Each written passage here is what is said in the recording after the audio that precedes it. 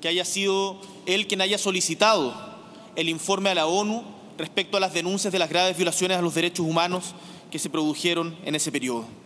Como oposición, como ha sucedido otras veces en nuestra historia en medio de la vorágine política, durante su gobierno, las querellas y las recriminaciones fueron en ocasiones más allá de lo justo y razonable. Hemos aprendido de ello y todos, todos debiéramos hacerlo.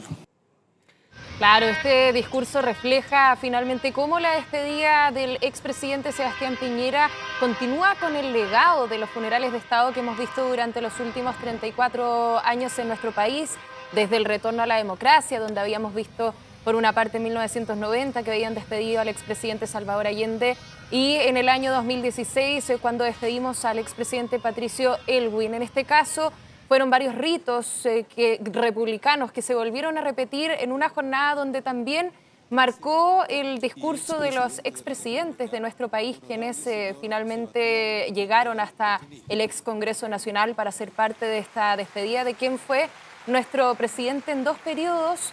Y eh, en ese sentido preguntarte, ¿con qué te quedas tú con las frases que anunciaban ahí los expresidentes en esta oportunidad?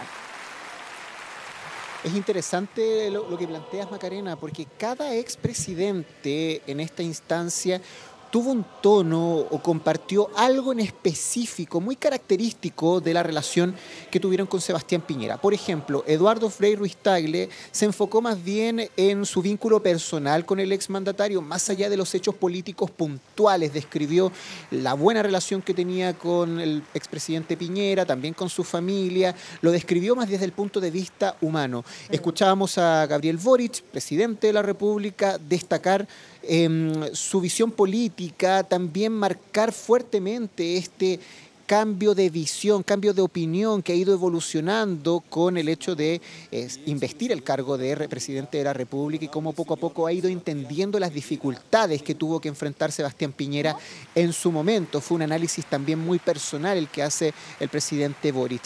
Y por su parte, y eso es lo que vamos a mostrarles a continuación,